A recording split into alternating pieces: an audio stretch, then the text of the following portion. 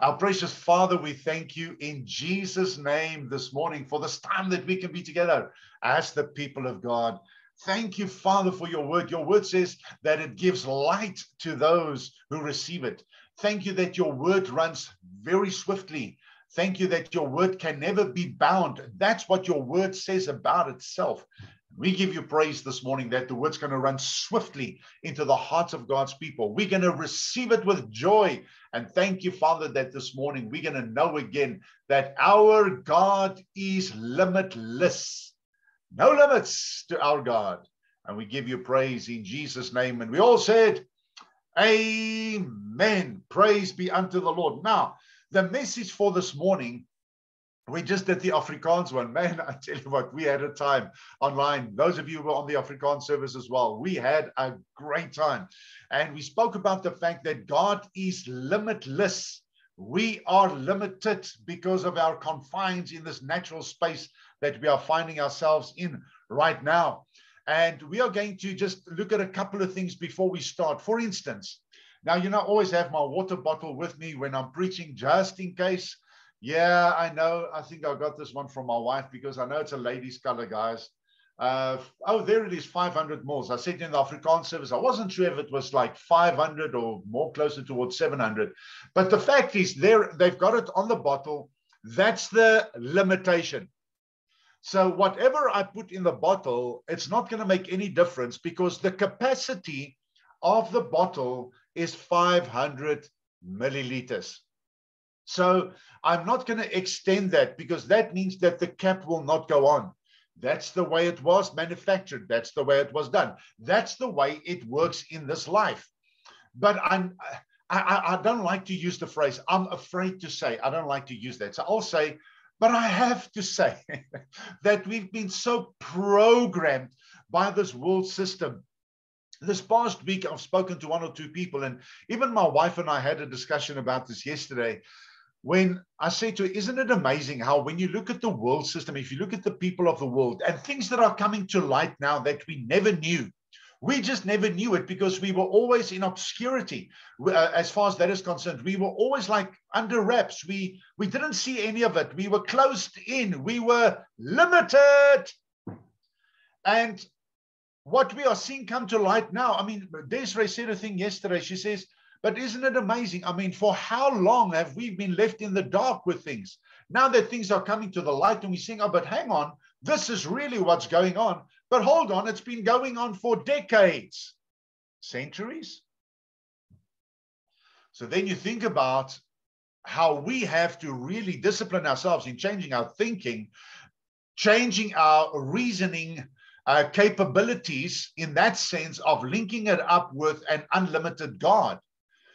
Now, in our finite mindsets, in our limited mindsets, we are so conditioned by a world system through the five senses, through what we see, what we hear, what we smell, what we taste, what we feel. All of that has been programmed into our subconscious, and we live our lives according to the framework of those references. And cognitive choices are made from the subconscious based on experience based on what you've done before, based on what you've seen before, based on what you've decided before. So, so basically, in a sense, we are living extremely limited. And when I thought about that, I thought it's so it, it's so akin to our daily lives because if I get in my car now and I drive across to the airport, for instance, I'm going to have to make sure that I have sufficient fuel for the distance. Now, I kind of understand the capacity of my vehicle and how far it can go on a tank of fuel. Although now with the prices of fuel that is completely off the log, really, in what we are paying for fuel in South Africa, and you put fuel in the car and you know, okay, I've put in, you put in 500 now, doesn't take you too far. But I know that I have a limit. When I put that in, there's a limit to how far I can travel. So the reason I'm saying this is because our conditioning is according, listen to this, is according to limitations. Our conditioning is according to limitations. But if we live according to the limitations, we won't see the hand of the limitless God. Woo! I need to say it again. If we live according to our mindsets and our limited views on things, we are not going to see the hand of the limitless God in our lives because we won't recognize it. That's why God has had this thing with these people from the word go, the Israelites from the word go. We're going to read a portion of scripture about that just now. And I need to also bring in the, the age thing here. You know, at the age that you are at right now, you are in a limited time space continuum and a time space uh, uh, dynamic. God is in a limited uh, continuum. So our lives are so confined in this space then god comes in he speaks to our hearts he shows us his limitlessness he shows us the kingdom which is limitless and then we've got to kind of go through a mindset adaptation, transformation, change so that we can start seeing what he sees. So when you look at scriptures, for instance, that says that we've been translated out of the kingdom of darkness into the kingdom of the Son of His love. So you are in a kingdom this morning where you are seated in your home. Physically, you are positioned on this earth. Spiritually, you are seated in heavenly places. You are here physically, you are here practically, but spiritually, you are seated in heavenly places in Christ Jesus. How awesome is that this morning? But now, for you to think about that daily, for you to actually live that out daily, is quite hard because your head is so much in control. That's why we, and I'm, I'm saying my wife and I, have, have, have uh, applied ourselves over the past, it's going on for 30 years, in helping God's people to not live from here any longer, but to live from your heart, to live from the reality of who you are in the kingdom.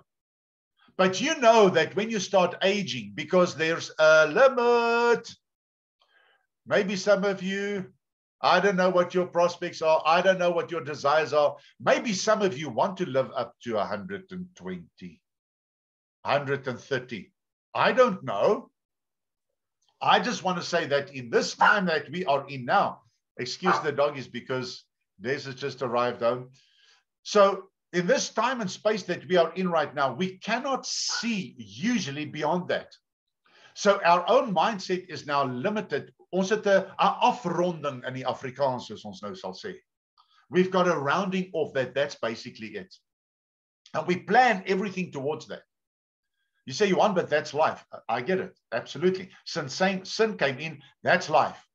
But now, what about when you look at your health? Now, I have to go there this morning because this is so true to me as well and true with me. And I see it all the time. When you were a younger guy, die manne wat on online is when you were here age 25 26 27 i mean you were you were in your prime you know what i'm saying i remember being in the gym and and when i was a young boy i used to do a whole lot of sport. I used to jog six to seven k's a night when I when I when I um, just before my parents got home, I would go for a jog.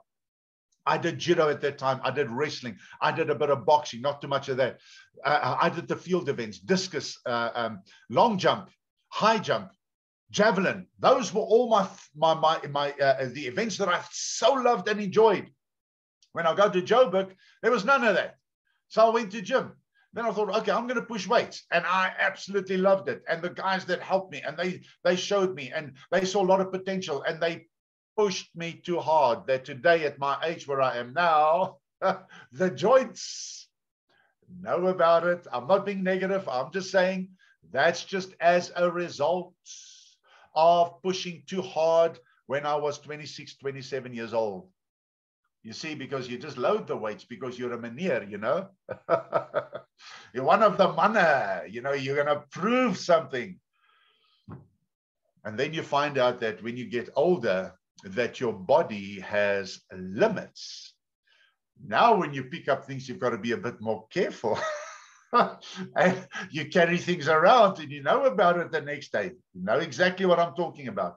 Why? Because there are limitations when we look at these limitations, guys, you know, it really takes it takes discipline to get yourself into the place where God can really bring through to you the reality of limitlessness. When I was sitting going through this, and I love you know, putting messages like this together, it's like my ultimate. It's like so because you go into the Word of God and you go through the pages and you you've got to limit yourself. And I said to Annabelle this morning, I said, you know what? I, I, I look at these scriptures and I go, I've got to limit myself. I can only talk about this oak, that oak, and that oak. That's it. But you look at a Gideon when it comes to limitlessness. Here was Israel. They were in a place that was a bad place where they found themselves on a regular basis because of the fact that they would come up against God, sin against God. They would want to be like the other nations. They would import idols, bring in the other things from the other nations. And they thought God would be okay with that. And he was never okay with that. And he's still not okay with it today. And they would go along and do these things. And God would say, All right, I have to raise up a nation in order to discipline my people. And God used to do that right throughout the Old Testament. I said to the Afrikaans group this morning if we have to count the times that God did that, where he took his people, and ons sê in Afrikaans waar hulle geros kam het, in, in, in where he had to discipline his people. He brought in another nation to come against these people, to discipline them, to come back to God. So that's the way he did it. He did it like that every time. So at this time, it was the Amalekites. They would come every year and they would steal the produce. They would steal the harvest off the land that Israel had cultivated. But they did that year after year after year after year. How many of you know that eventually, if that happens the second year, you think, okay, well, maybe uh, I can still kind of handle this. The third year, you're going to start getting a little bit demotivated. By the fourth year, you're going to be totally depressed. By the fifth year, you're going to be in a state of oppression because they would take the animals as well. You've got to basically start from scratch every single year. How many of you will be able, come on, let's put ourselves in that position. How many of you would be able to deal with that emotionally? You and your family. You begin elke jaar niet. And when the harvest comes and everything is there, it gets taken away from you. And God allowed it. God allowed it. But there was one guy by the name of Gideon what God did is he placed something on the inside of him. Why Gideon? I wonder if you thought about that as well. Who come Gideon? Why? Why not a mighty warrior in Israel? He chose Gideon, who was the least of his family. In other words, he was the swart skaap die familie. He was, he was basically, a, in a sense, a nobody. How many of you know God takes the lights in the nobodies to make them somebodies? So God put something on the inside of Gideon, Gideon, just a little seed. God just plants it there. And Gideon takes the seed. He takes the potential that's in the seed and he starts doing something that nobody's doing. He goes into a place that's unfamiliar for the project because the place is not built for that particular thing. He goes into a wine press and he trades out corn so that he can feed his family and he can feed those of extended family and he can start feeding the people of the nation. How big was the nation at that time? We don't know. But at that particular point in time, God had instilled with, listen to this, with, within Gideon, the potential to make an impact and a difference in a nation that was depressed. Imagine a nation depressed. Never mind a couple of people. Guys, just hold on for a second, please. Just hold on for a second.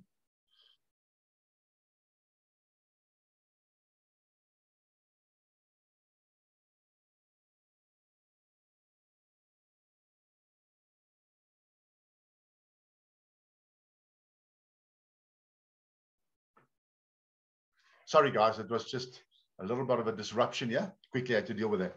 So God already placed within Gideon what was required, what was needed for him to now make an impact and a difference in the nation. How many people does God need in order to come into a nation and turn it the upside, well, the right way up, because it's all upside down at the moment.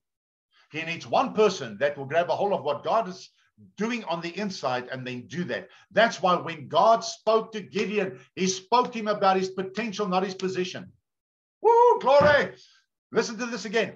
When God spoke to Gideon, he spoke, spoke, spoke. he spoke to him about his potential, not his position. Because what we do through our limited thinking and reasoning is we look at our positions instead of our potential. And I said it to the Afrikaans people. Some of you know me better than others. If you're going to sit with me and we're going to have a cup of coffee and we're going to have something nice and we're going to have a chat, I'm going, I'm going to challenge you. I'm going to challenge you on where you are at in your life if you are just basically in a rut, because a rut is an elongated grave. I'm going to challenge you because of the potential that God's placed on the inside of you. And I'm going to ask you, what are you doing with it? And the reason I've got the right to do that is because not only are you a brother and sister in Christ, but you're also a friend. And friends help friends. And the reason I can talk like this is because I've been there. I was programmed by the world system to think in a certain way. And I thought I was going to be a technician for the rest of my life. And God said, Assert. And God stepped in. He placed something on the inside of me. And He says, Now I want you to develop that. And I started developing that. And then I found out, but that runs and spills over into the next thing. And that runs and spills over into the next thing. And, and so you carry, and then you realize eventually, but my goodness, I am not, I am not, uh, uh, uh, uh I'm not a monotype. I'm stereo. quadraphonic. I, I can do more than just that because God had already placed that on the inside of you. In the Old Testament, the Bible talks about the fact that the artisans, the guys who worked with their hands, the craftsmen, God had placed on the inside of them the ability to work with the tools. Here's the thing God still instills the tools on the inside of you before you have the tools in your hands. Are you getting this this morning? Are you grabbing a hold of this? So Gideon then rises up and God gives him only 300 guys. God wants to show them limitlessness. He showed them their limited reasoning and their limited capacity by bringing in his limitlessness into a nation to destroy a nation to, to uh, in Afrikaans is dit so mooi om hulle te verslaan met 300 man. That's all that was required because God never never needs a majority. God never needs a majority. He just needs you to rise up and say, I'm going to do something about this. God has given me the ability. I've got the time. I've got the faith. I'm going to rise up. Moses is caught between the Red Sea and the Egyptians, Pharaoh and the Red Sea. A lot of complaining, moaning Israelites, hundreds of thousands of them, some say a couple of million. They're complaining and moaning and groaning in the ears of Moses. They're complaining and moaning and groaning in the ears of God. Because what has happened to the Israelites is they came from limitation. Now they're in liberation on their way to the promised land. God has showed, showed them limitlessness in the fact that, come on, you got to realize that after walking a couple of years with the same sandals and it's not wearing out, something's happening. Somebody's in charge of all of this. You know what I'm saying? Your clothes don't wear out. You guys know, ladies, especially you, your summer cupboard, your, your summer selection, now that summer is coming, then you're going to put the winter clothes away. And you know, just like I do, you're going to take out your summer clothes and this doesn't fit anymore. And that's not your style anymore. And you got to get rid of it and you're going to see that something that you kept for a while and you really thought you're going to wear it again has been worn out a little bit. And you know it's not going to be great wearing that in public so you get rid of it. Hey our our winter and our summer cupboards israelites had the same stuff that they were wearing. And they just kept it and god kept it clean. God kept it fresh. Why? Because he is limitless in their limited reasoning, in their limited thinking, God showed them in the desert, this is who I am. If you are off this good and this well right now, guess where I'm taking you to be? You're, oh, you're to be treated in the promised land. And what did they do? Moaning and complaining and groaning against the leader and against the leader's God. And what they did is they went back to default in their own minds, you see, because their minds were so programmed by the Egyptians to think limitless, excuse me, to think in limits. I want to say that again. The Egyptians formulated and programmed the Israelites to think in terms of limitations. To the extent that the Israelites said, we'd like to rather go back there. At least we had the nice food every day. Limitations with nice food instead of being limitless and eating food from, from heaven. There was nothing wrong with that, by the way. The Bible talks about that. The, the, the manna in the morning, it was like it, it made from coriander and, and it was sweet to the taste. In the evening, God gave them gave, gave them protein. By the way, that's just a good thing in health. In the mornings, you have your carbohydrates, not too much of that, by the way. You have your carbohydrates, you have your food to give you energy for the day. And evening, you have protein just to fill up again. It's just to restore and replenish. God's awesome, isn't he? Even thinks about that. So they were limited in their reasoning. And God had Moses now in a limited space, in a limited place. How many of you know God loves those things? Where everything is limited, God says, okay, now I can do something here because now you are in a place where you cannot get yourself out. Now I'll do it for you and I'll show you my mighty hand. And Moses reaches out his staff, and it wasn't a question whether the sea was going to open, it's how wide. because that's how God works. How wide it's going to open. And they walk through. Joseph found himself in a very confined space, in a pit. A pit is not a place for projection and, and programming yourself for an awesome prospective future. A pit is a very limited place, and God revels in it. And God says to Joseph, all the way through from the inside of him, I am with you. I am with you. God's on the inside of Joseph. Why? Because it's a plan, there's a purpose. And God's plans and purposes are always greater than ours. And God works in Joseph's heart and God moves him from there. Yeah, Johan, from there he goes into the into the palace, he goes into prison and all of yeah, we know all of that. But God took a Joseph from a limited place into a limitless place so that those who were limited could come to the limitless one who was, who was connected to the kingdom of God, who could show them the limitlessness of God. Die onbeperkte God is wat Josef vir sy broers en sy familie gewys het. So in the end, who gets all the glory? God gets all the glory. So nou wil ek vir jou vandag vra, jy weet, met elke boodskap is daar uitdaging. With every message, there is a challenge. So, the challenge to you this morning, where you are at in your personal life, you could be in a place that you are saying, Look, I'm, Johan, I'm comfortable where I am. Or you perhaps even say, Lord, to Him, Lord, I'm comfortable where I am. Thank you for what you've done for me. Thank you for where I am.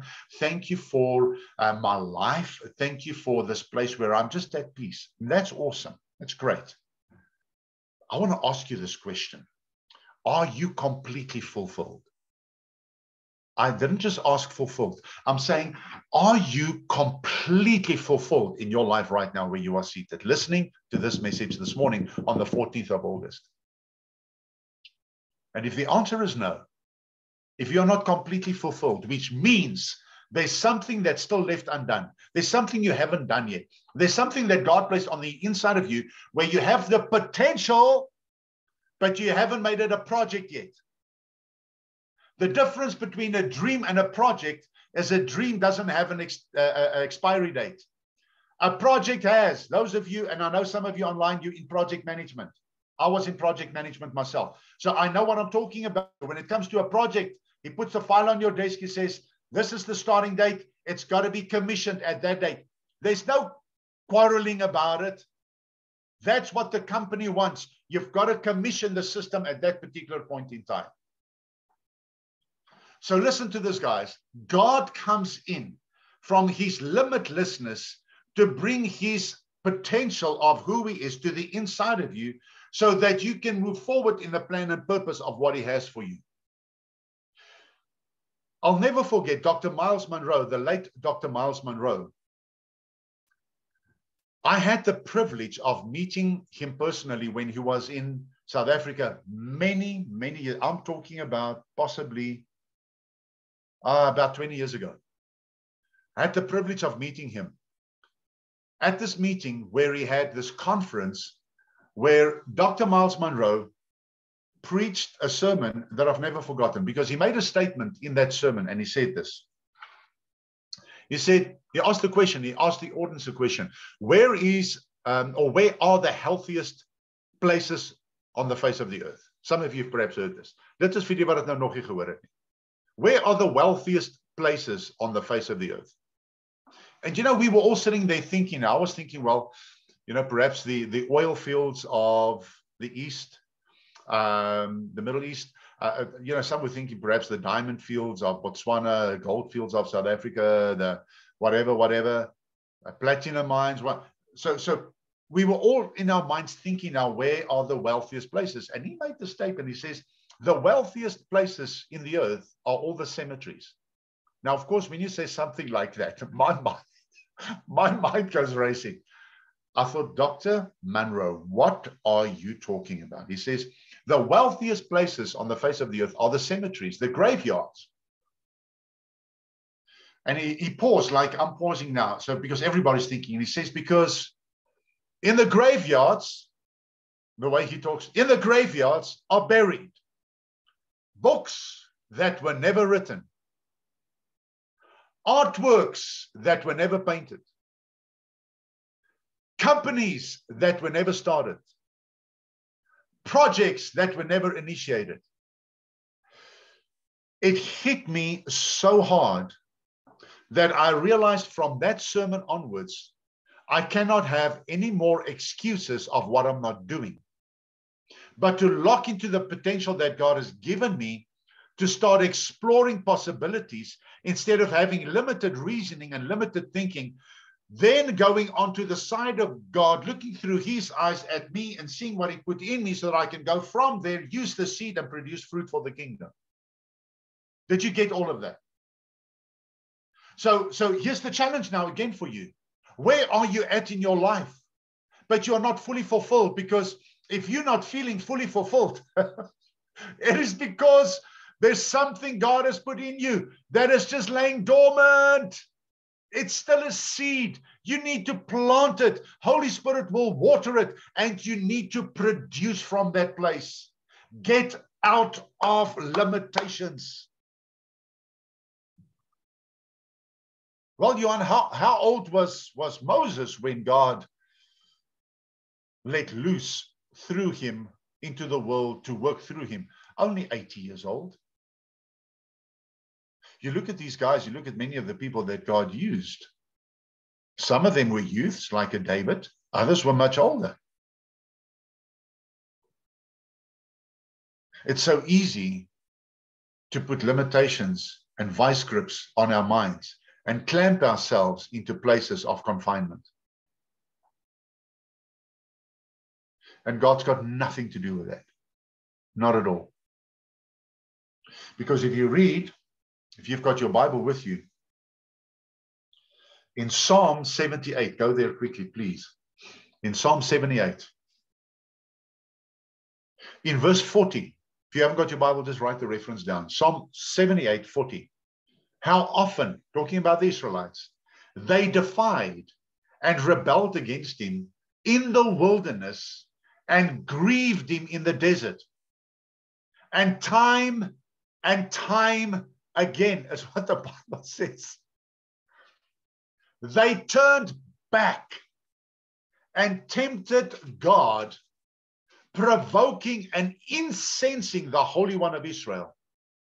They remembered not, oh, it is by said, they remembered not seriously the miracles of the working of his hand, nor the day when he delivered them from the enemy. And when, when I was reading that again yesterday, I looked at that verse, verse 41, and I remember just a short while ago when I preached, I preached a sermon basically based on what I just said. And I want to show you this in Hebrews chapter, again, write the reference down. Hebrews chapter 10 and verse 37. Listen, for yet a little while, and he who is coming will come and will not delay. Now the just shall live, come on, say it with me, Come on, you know scripture. Come on. The just shall live by exactly, Barry, faith. The just shall live by faith. It's from Romans 1:17. But if anyone, this is God speaking, if anyone turns back, draws back, my soul, God says, has no pleasure in him. Now, I don't know about you, but I think that's extremely serious. So, why was God upset with the Israelites? Why was he upset with an entire generation? 40 years. Why was he upset with them? Because of this one thing. You go study it, you'll find it comes to one conclusion. All of that equals, here it is, underlined. They limited the Holy One of Israel. In Afrikaanse Bybel het ek vanoggend gelees. Hy hy's oop hier so maar gaan dit nie nou lees nie. It just says there. Hulle het God se krag vergeet. So when we look at the limitations that we place on ourselves, what I'm saying to you this morning and what I'm saying to myself, because I'm preaching to myself, is that God is not pleased when we put Him into our limited mindsets. Then, with that, I want to ask you uh, what are you trusting God for this morning? What are you personally in your own personal life, where you are at now? What are you trusting God for? well, I'm trusting him for this and, and for that and for that and for that. I, I, I've realized that when you come in with that request, with that desire, he puts the desire there, by the way, then you bring the desire back to him. That's just how it works. It originates from him. Then you bring that desire to him, is that he wants to be your all and your everything in that desire. It has to be him first in absolute all, absolutely all of that. He wants to be the central focus of where he's taking you. That's why God got the glory for a Gideon taking 300 and defeating the Amalekites. That's why God got the glory for a Moses reaching out his staff over the sea, the sea opening, the Israelites going through. Who got the glory? On the other side, it was evident who got the glory because Miriam took the tambourine and she was dancing with the people of Israel and they were rejoicing in their God. The horse and the rider was thrown into the sea. Your enemies are nothing for God at all. My encouragement to you this morning is get rid of those limitations. And I say to the Afrikaans group, and the Lord's reminding me now by His Spirit that it's amazing how people who are close to you can limit you. Precious family, precious relatives, lovely people. We love them. but they sometimes love to put limitations on you, boundaries. Oh, but that's not who you really are. I have found that I've got more adventures in exploring things that I thought I couldn't do than things that I knew I could do. I, I didn't know I had that potential. God put it in me. And then when I started thinking about it, doing it, and I thought, okay, the thought also came from him because I was thinking what he put in there is obviously from him. So the thoughts I'm thinking was from him to actually start initiating it and then making something of it. That's why when when when I, when I sit with you and we have something nice to to enjoy, a cup of coffee or a cappuccino, preferably, and we we sit and we have a chat, we're going to talk about these things.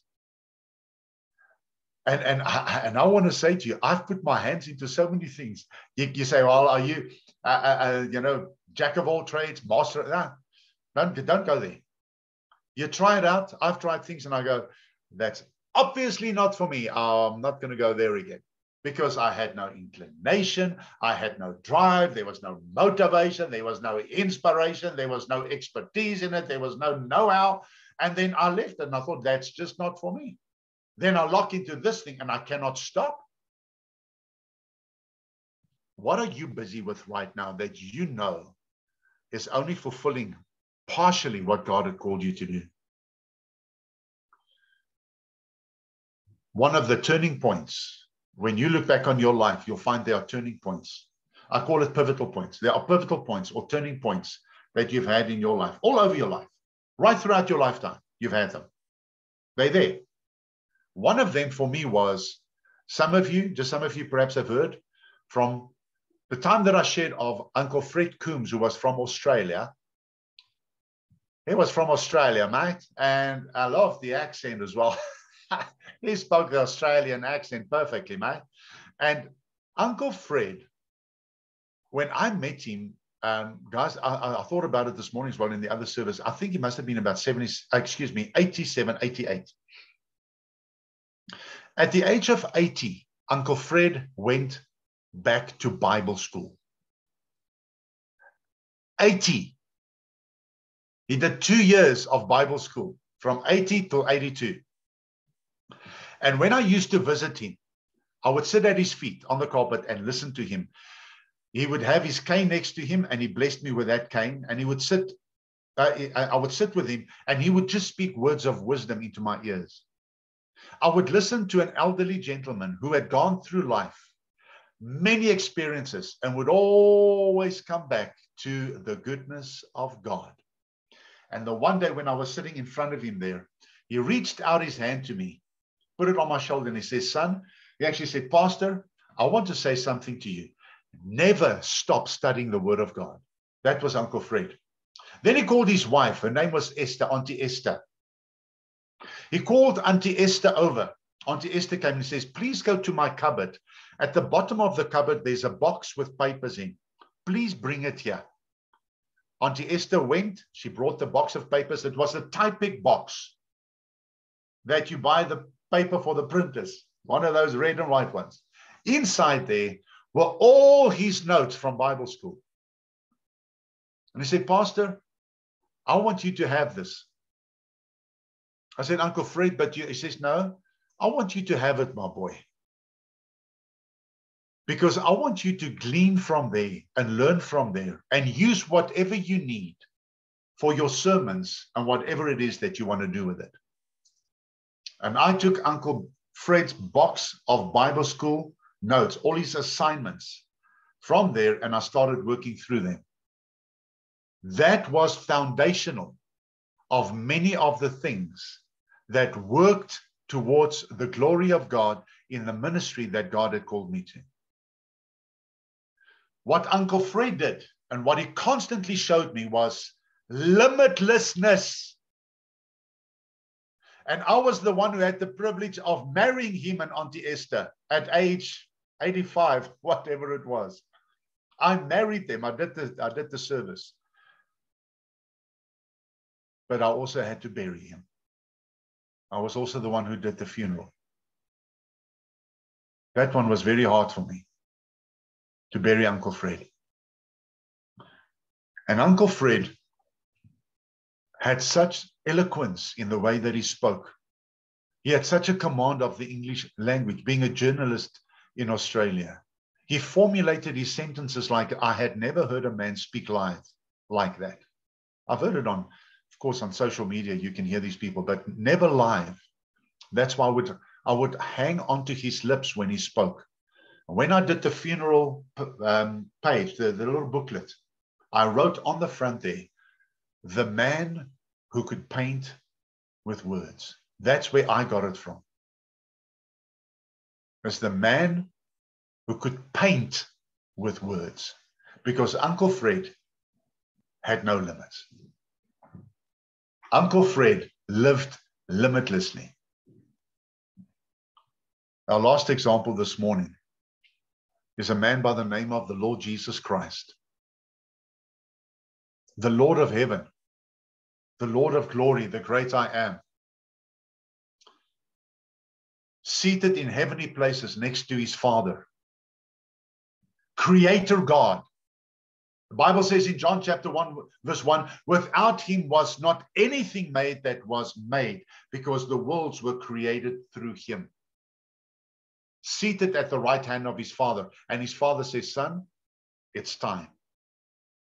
And here the King of glory, the great I am, the one who was, is, and is to come, the Almighty, confines himself into an earth suit in the womb of a Jewish young girl to be born as a man into the world, to come and redeem mankind from sin in all its forms and manifestations. Where God, God limited himself for a period of 33 and a half years in order for a vision to be fulfilled that was prophesied by him from the beginning because he said Jesus Christ was prophesied, excuse me, crucified even before the foundation of the world. When we read in Philippians, and I, I want you to go there with me, please, Philippians chapter 2. Again, if you don't have your Bible, please just write the reference down. Philippians chapter 2. Thank you, Jesus, for your word this morning. Are you learning something from this? Are you getting something from this? Is this helping you? Are you feeling encouraged to go that, not just the extra mile, to go another mile on another route, in another place with something different? In chapter 2 of Philippians, from verse 6, it says, This is talking about Jesus, who, although being essentially one with God, what we just said at the right hand of the Father, and in the form of God, possessing the fullness of the attributes which make God God, did not think this equality with God was a thing to be eagerly grasped or retained, but stripped himself. I want you to listen to this now. Stripped himself of all privileges and rightful dignity, so as to assume the guise of a servant, a slave. Talking about God here in that he became like men and was born a human being. And after he had appeared in human form, he abased and humbled himself still even further. Die Afrikaanse Bybel sê hy het nog steeds verder verneder and carried his obedience to the extreme of death, even the death of the cross. Now, you want to talk about limitation. You want to talk about confinement. You want to talk about restriction. That was it right there. But now watch what happens from limitlessness to limitation to limitlessness. Watch. Therefore, because he stooped so low, God has highly exalted him and has freely bestowed on him the name that is above every other name, that at the name of Jesus, every knee should bow, and it says in the Amplified, must bow, in heaven and on earth and under the earth, and every tongue frankly and openly confess and acknowledge that Jesus Christ is Lord to the glory of God the Father. God in human form. God who walked the earth for that period of time to redeem us to that place of limitlessness on the inside of you this morning, there where you are seated in your home right now, on the inside of you, listen carefully to these words. You are limitless. I said to the Afrikaans people this morning, listen, from this sermon onwards, van from here onwards, thou shalt have no more limitations upon thyself. Old King James. Stop the limitations. Get into it. And it's amazing how, when you do something for the first time, how you start living and reveling in it, and how you realize that that potential has been put on the inside of you to do it. I want to ask you which dreams are still alive on the inside of you? What vision has God given you? Where are you focusing? What are you looking at? We looked at that vehicle last, the gospel vehicle last week, and I've, I've praised the Lord for Annabelle who put that little full, full, Volkswagen on social media with the dust coming out. That's what we're talking about. Are you moving forward? In the times we are in now, we need the army of God and we need you with everything that you've got on the inside of you because the seeds has been planted on the inside of you. The fruit must go back to the kingdom. To the young people, I want to talk to you. Shanae and all of you young people, listen carefully. Wat God binne in jou geplant het, leef dit uit. Start now where, are you, where you are young.